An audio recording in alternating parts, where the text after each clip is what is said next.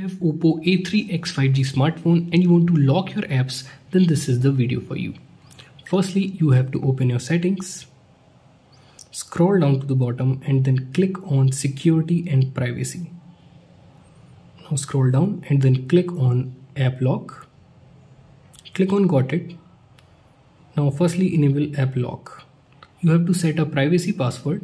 Click on settings you can set a six digit password or you can use a different password type. You can select pattern alphanumeric etc here i select pattern draw a pattern and then confirm your pattern.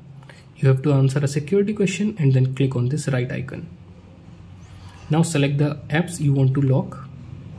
I want to lock my chrome and my facebook.